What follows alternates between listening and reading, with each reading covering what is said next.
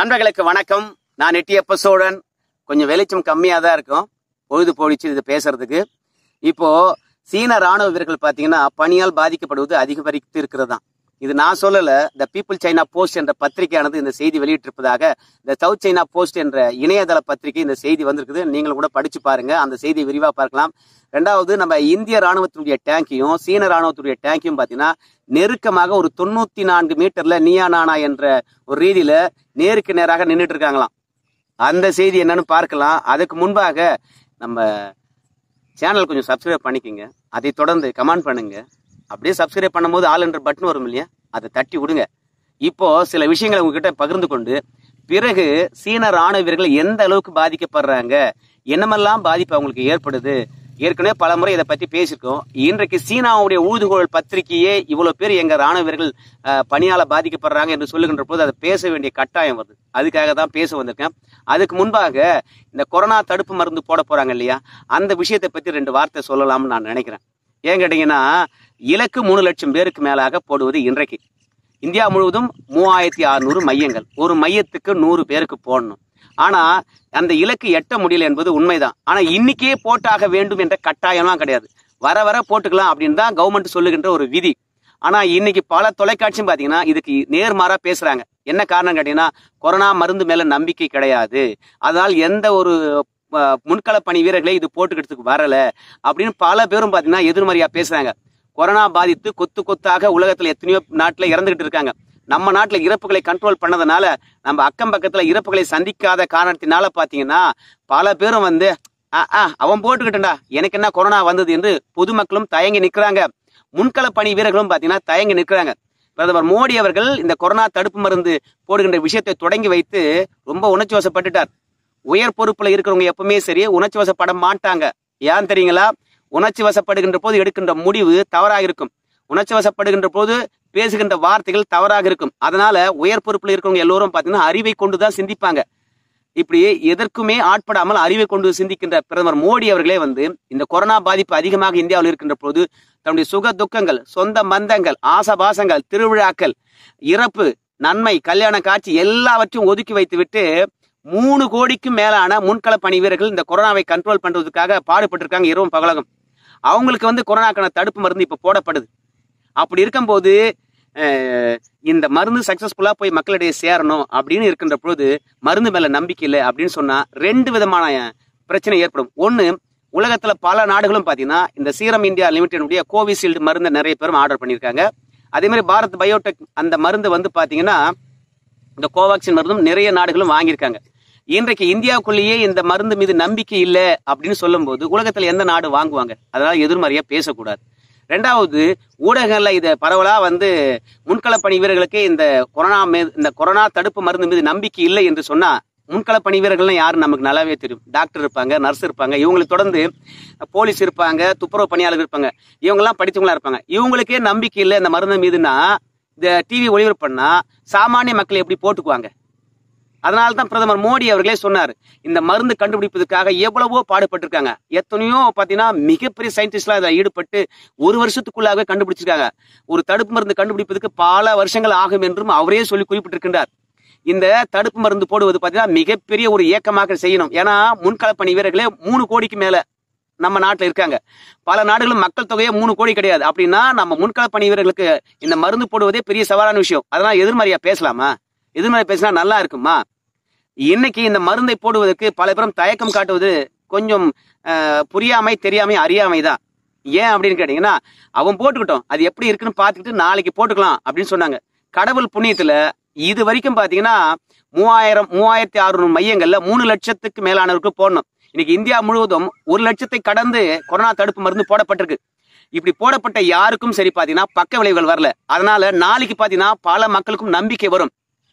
எவ்வளவு கஷ்டப்பட்டு மருந்து கண்டுபிடிச்சு போட்டு போடப்பட்டிருக்குது? இதை எதிர்மறையா ஊடகங்கள் பேசுனா இந்த ஊடகங்களுக்கு என்னதான் அறிவு இருக்குன்னு எனக்கு தெரியவே இல்லை.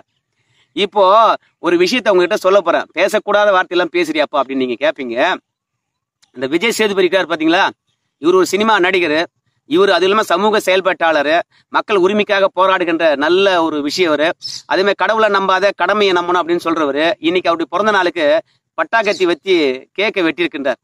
இவரை பின்தொடர்கின்ற ரசிகர்கள் என்ன பண்ணுவாங்க? நான் அவங்களும் அதே மாதிரி தானே பண்ணுவாங்க. இதே ஏழை எளிய எவனா ஒருத்தன் பட்டா கத்தியை வச்சு உணர்ச்சிவசப்பட்டு வெட்டிட்டான்னு வச்சுக்கோங்க. இந்நேரம் காவல்துறையும் கைது பண்ணியிருக்கோம். இப்ப விஜய் சேதுபதி வந்து சொல்லிட்டார் நான் நடிக்கிற ஒரு படத்துக்கு பேர் பட்டா கத்தினே பேரு. அதுல அந்த படத்துல அந்த கேரக்டர் தான் உச்சம் தொடுது. அதனால நான் தெரியாம இதை பண்ணிட்டேன். மன்னிச்சிருங்க அப்படின்னு சொல்லிட்டாரு. இனி பண்ண மாட்டேன்னு. இது மாதிரி எல்லாரும் மன்னிப்பு கேட்ட காவல்துறை விட்டுருமா? பணம் இருக்கிறவனுக்கும் மதிப்பு இருக்கணுக்கும் பதவி இருக்கணுக்கும் ஒரு மாதிரி நடக்குதா காவல்துறை? இந்த கேள்வி எனக்குள்ள எழுந்தது.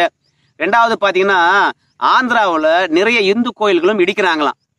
இப்படி இந்து கோயில் இடிப்பது பார்த்தீங்கன்னா இன்றைக்கு அந்த மாநிலத்தினுடைய காவல்துறை அதிகாரி உயர் காவல்துறை அதிகாரி ஒரு பேட்டி கொடுத்துருக்காரு. என்ன கேட்டீங்கன்னா இப்படி ஜெகன்மோகனுக்கு வந்து பார்த்தீங்கன்னா ஒரு கெட்ட பேர் ஏற்படுத்தப்பட வேண்டும் என்பதற்காக கோயிலை இடிக்கிறாங்க. கோயில் இடிச்சது பார்த்தீங்கன்னா கிட்டத்தட்ட ஒரு முப்பது பேருக்கு மேல இடிச்சிருக்காங்க. அதுல தெலுங்கு தேசத்தை சேர்ந்தவர்கள் வந்து பாத்தீங்கன்னா ஒரு இருபத்தாறு பேர். நான்கு பேர் பிஜேபி கட்சியை சார்ந்தவங்க இடிச்சிட்டாங்க. அப்படின்னு சொல்லியிருக்கின்றார். இங்க ஏன் ஒரு விஷயம் இதை சொல்ல வேண்டியதா இருக்குன்னு கேட்டீங்கன்னா இப்ப தெலுங்கு தேசமா இருந்தாலும் பிஜேபி இருந்தாலும் ஏன் இந்து கோயில் இடிக்கிறாங்க? இங்கதான் ஒரு விடயம் இருக்கிறது. என்ன தெரியுமா? எதிரி தான் நம்ம என்ன கத்தியை எடுக்கணும் என்ன ஆயுதத்தை எடுக்கணும் அப்படின்றத முடிவு பண்றான். தவறா சொல்றேன் கத்தின்ட்டு. விஜய் சேதுபதி பத்தி பேசினேன் இல்லையா? அப்படியே கத்தினே நான் வாயில வந்துச்சு. நம்ம எந்த ஆயுதத்தை எடுக்கணும் என்பதை எதிரி தான் முடிவு பண்றான். அந்த மாதிரி தான் இங்க ஜெகன்மோகன் ரெட்டி பாத்தீங்கன்னா அவர் அடிப்படையில கிறிஸ்துவரா இருக்கிறார். அதனால இந்து கோயிலுக்கு எதிராக அவர் பயங்கரமா நேரடியா செயல்படுறார். இந்து கோயிலை கவனிப்பது கிடையாது. இந்துக்களுக்கு எந்த ஆதரவும் பண்றது கிடையாது. இந்த மாதிரி இந்துக்களுக்கும் இந்து தெய்வங்களுக்கும் எதிராக இருக்கின்ற பொழுது இன்னொருத்த என்ன பண்ணுவான்? அதைத்தான் வச்சு வேலையை பார்ப்பான். நீ இந்துக்கள்கிட்டயே வேறுபாடு காட்டல இந்து கோயில்கிட்ட வேறுபாடு காட்டல கிறிஸ்துவத்தை வளர்ப்பதற்காக நீ முயற்சி எடுக்கல அப்படின்னு கிடைச்சிங்க. இன்னொருத்தன் பாத்தீங்கன்னா அந்த விடயத்தை கையில எடுக்க மாட்டான். ஏன்னா ஜெகன்மோகன் ரெட்டியை பொறுத்த வரைக்கும் மதசார்பற்றவர் எல்லாத்தையும் ஒன்னாதான் பாக்குறாரு அப்படின்ற ரேஞ்ச் இருக்கும்போது அவன் போய் என் மதத்துல கை வைக்க போறான். அப்போ நீ மதத்துக்கு எதிராக இருப்பதன் காரணமாகத்தான் நீ மதத்துக்கு எதிராக இருக்க இல்லையா? நீ எதிரா இருக்கிற இல்லையா? அதை வச்சே உன்னை நான் கருவறுக்கிறேன் பாருன்னு சொல்லிட்டு ரெண்டு பேர் போய் அதுல முயற்சி செய்யறான் அதனால திருந்த வேண்டியது ஜெகன்மோகன் ரெட்டியும் அவருடைய கொள்கையும் தானே கண்டு தெலுங்கு தேசம் கிடையாது. இருந்தாலும் சரி ஒருத்தன் தப்பு பண்றானே என்பதற்காக இன்னொருத்தன் அந்த வழியில போறது அதை விட கொடுமையானது வேற ஒண்ணுமே கிடையாது. ஏன்னா அவனுக்கு தான் மூளை இல்லை மதவெறி ஏறி போய்க்குது. நம்ம தான் தெளிவாக இருக்கணும். நம்ம மூளை தெளிவாக இருக்கிறது. சுற்றி இருப்பது நம்ம கோயில்கள் சுற்றி இருப்பது நம்ம மக்கள். நாம ஒரு தவறான ஒரு விடயத்தை எடுக்கலாமா? நம்ம சிந்தித்து அதுக்கப்புறம் செயல்படணும். அதான் சரியானதா இருக்கும். இந்த பீப்புள் சைனா போஸ்ட் என்ன சொல்றதுன்னு கேட்டீங்கன்னா பணியால எங்க முன் எங்க ராணுவ வீரர்கள் ரொம்ப பாதிக்கப்படுறாங்கப்பா. இந்திய ராணுவ வீரர்கள் தாக்கி உயிரிழந்ததை விட பணியால எங்க ராணுவ வீரர்கள் உயிரிழந்தது ரொம்ப அதிகம். இது மூளை வீக்கம் அதுக்கு பிறகு நரமண்டலம் பாதிப்பு அதுக்கு பிறகு பார்த்தீங்கன்னா உடல் வறண்டு போடுதல் அப்புறம் சோர்வு கண் பார்வை இழப்பு நா வறண்டு போதல் தலை சுற்றல் இந்த மாதிரி நுரையீரல் வீக்கம் இந்த மாதிரி பல பிரச்சனைகள் எங்கள் ராணுவ வீரர்களுக்கு தொடர்ச்சியாக வந்துக்கிட்டே இருக்குது. இந்த மாதிரி ஹை ஆட்டிடியூட்ல இந்த மாதிரி பிரச்சனை பணியாளர் வருகின்ற போது பார்த்தீங்கன்னா எங்கள் ராணுவ வீரர்களே மாற்றி மாற்றி தாக்கிக்கிறாங்க. அந்த அளவுக்கு சீன ராணுவ வீரர்களுக்கு போயிடுது. அதாவது இந்திய ராணுவ வீரர்கள் தாக்கி காயமடைவதை விட இந்த பணியால் ஏற்படுகின்ற காயங்கள் அதிகமாக இருக்கிறது இதனால இந்த ஹை ஆட்டிடியூட்ல இருப்பது சீனாவுக்கு மிகப்பெரிய ஒரு இழப்பு அப்படின்னு அந்த South China morning South China Post ஆனது சொல்லியிருக்கு. இப்போ சீன ராணுவ வீரர் வந்து ஒருவர் ஒருவர் வந்து பார்த்தீங்கன்னா நம்ம இந்திய எல்லை பகுதிக்கு வந்துட்டார். உங்களுக்கு நல்லாவே தெரியும். அவர் பணியால் பாதிக்கப்பட்டு குழப்பம் ஏற்பட்டு நம்ம பக்கம் வந்துட்டார் என்று சீனா வெளிப்படையாக சொல்லவே இல்லையா? சொல்லிக்காதான் ஏன்னா கௌரவ பிரச்சனையா? அது யாக்கு எருமையை தேடி வந்தேன். அதனால நான் வந்து பார்த்தீங்கன்னா வழி தவறி இரவா இருக்காது வழி தவறி நான் வந்துட்டேன் அப்படின்னு சொல்லுவாங்களாம். ஆனால் ஆக்சிஜன் பற்றாக்குறை அந்த பனி பாதிப்பு இவற்றையெல்லாம் தாங்க முடியாம தான் எல்லை தாண்டி சீன ராணுவர்கள் வந்துடுறாங்க அப்படின்ற விஷயத்த சீனா வெளிப்படையா சொல்லாதான் எங்க ராணுவ வீரர்களுக்கு அனுபவம் இல்லை இந்த பணியில இருந்து அப்படின்ற விஷயத்த சீனா என்னைக்கும் ஒத்துக்கொண்டதே கிடையாதான் இப்போ இந்திய ராணுவ வீரர்களுக்கு இந்த மாதிரி பணியில இருந்து பயக்கம் இல்லை எந்த வருடமும் இந்த மாதிரி பார்த்தீங்கன்னா இரண்டு ராணுவ வீரர்களும் பணியில நேருக்கு நேராக இந்த காலகட்டத்தில் இல்லை. ஆமா உண்மைதான் இல்லை. ஆனா எங்க ராணுவ வீரர்கள் இந்த மாதிரி குழப்பம் அடையலையே. பணியால் அதிகமா பாதிக்கப்படலையே. பாதிக்கப்படலை என்பதை விட சீன ராணுவர்களே அதிகமா நம்ம ராணுவர்கள் பாதிப்படையலை அப்படின்ற உண்மையை நம்ம ஒத்துக்கணும். இதனால வந்து பாத்தீங்கன்னா இன்னைக்கு எந்த அளவுக்கு இழப்பு ஏற்பட்டு இருந்தால் சீன ராணுவத்திற்கு சீனாவுடைய ஊதுகுழல் பத்திரிகை த பீப்புள் சைனா போஸ்டே வந்து பாத்தீங்கன்னா ஆமா சீன ராணுவ வீரர்கள் வந்து பார்த்தீங்கன்னா பணியால் ரொம்ப பாதிக்கப்படுறாங்க அப்படின்னு சொல்லியிருக்காங்க. இதில் அருணாச்சல பிரதேசத்தில் ஒரு ஐந்து பேர் பார்த்தீங்கன்னா சீன ராணுவ அந்த எல்லைக்குள்ளே போயிட்டாங்களாம். அதுவும் இந்த பணியால் பாதிக்கப்பட்டு தான் போனாங்க. அதுக்கு பிறகு சீனானது இந்த பக்கமானது ர- இந்திய பக்கம் வந்து ஒப்படைச்சிச்சு அப்படின்னு சொல்கிறாங்க அதனால எந்த ராணுவ வீரரும் சரி எந்த பொதுமக்களும் சரி இந்த பணியால் பாதிக்கப்படுவது இயல்புதான் ஆனா இரு நாட்டுக்குள்ள இருக்கின்ற பிரச்சனை என்னன்னு கேட்டீங்கன்னா பணியை விட ஈகோ உயர்ந்ததா இருக்குது யார் படை விளக்கம் முன்ன செய்வது என்று ஆனா என்னுடைய கருத்து என்னன்னு கேட்டீங்கன்னா யார் இடத்துல யார் வந்து இருக்கிறான் அப்ப யார் படையை விளக்கணும்? இந்தியா பக்கம் வந்து பாத்தீங்கன்னா நியாயம் இருக்கா? சீனா பக்கம் நியாயம் இருக்கா?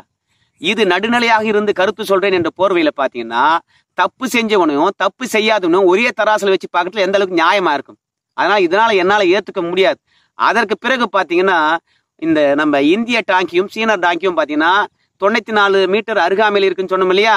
அதை பற்றி பார்க்கலாம். இந்த எல்லை வரலாற்றிலே பார்த்தீங்கன்னா இவ்வளவு நெருக்கமாக எப்பொழுதுமே பார்த்தது கிடையாது. இந்த வைப் இணையதளத்துல இது வைரல் ஆகிட்டு இருக்குதான். சீனா பக்கத்துல இருந்து தான் இதை வந்து பதிவு பதிவிட்டிருப்பாங்க. காரணம் என்ன கேட்டீங்கன்னா நம்ம பக்கம் தான் வந்து வைப் இணையதளமே கிடையாது. தடை செய்யப்பட்டிருக்குது. இவங்க என்ன சொல்றாங்க கேட்டீங்கன்னா பாத்தியா உங்க ஏரியாவுக்கு நாங்க வந்துட்டோம். உங்க ஏரியாவுக்கு டேங்கி கொண்டு வந்துட்டோம் பாத்தீங்களா? எங்க ஏரியாவுக்கு வர முடியுமான்னு கேட்டீங்க இல்லையா உங்களுக்கு பனியிலும் சரி இந்த குளிரிலும் சரி தாங்கிட்ட திறன் இருக்குது. அச்சு தூள் கலப்போம் அப்படின்னு சொன்னீங்க இல்லையா இப்ப உங்க பக்கமே வந்துட்டோம் பாரு. நீயா நானா பாத்துட்டு இருக்கேன் பாத்தியா? கண் பார்வைக்கு நேர்லயே இருக்கும் பாத்தியா? அப்படின்னு சொல்ற அளவுக்கு பாத்தீங்கன்னா சீன ராணுவம் டேங்கி நெருக்கிக்கிட்டு வந்துதான். இந்த டேங்கிக்கு பக்கத்துல இரு பக்கங்களும் பாத்தீங்கன்னா கூடாரம் அடிச்சு நிறைய ராணுவர்கள் தங்கியிருக்கின்ற படமும் அதுல காட்டப்பட்டிருக்கான். அதை தொடர்ந்து சீனா பக்கத்துல இருந்து டி பிப்டீன் என்ற டேங்கி வந்து பக்கத்துல நிற்பது போல இருக்குதான். நம்ம பக்கம் டி நைன்டி டி செவன்டி என்ற டேங்கி அருகாமையில் இருக்குதான். எதுவா இருந்தாலும் என்னங்க பண்ண முடியும்? இந்தியா அனுபவம் பெற்ற ஒரு நாடுங்க. புரியுதா? இன்னும் எத்தனை பனிகாலம் வந்தாலும் சரி பனியுகம் வந்தாலும் சரி ஒரு இன்ச்சை கூட அன்னியனுக்கு விட்டு கொடுத்துட்டு பின்வாங்காதுங்க. ஏன்னா தன்மானம் உள்ள ஒரு ராணுவம் விருப்பத்தின் பேரால் இணைகின்ற ராணுவம் அதனால ஒன்றும் பண்ண முடியாது. சரி நண்பர்களே இன்னொரு நல்ல வீடியோவில் சந்திக்கிறேன். நன்றி வணக்கம்.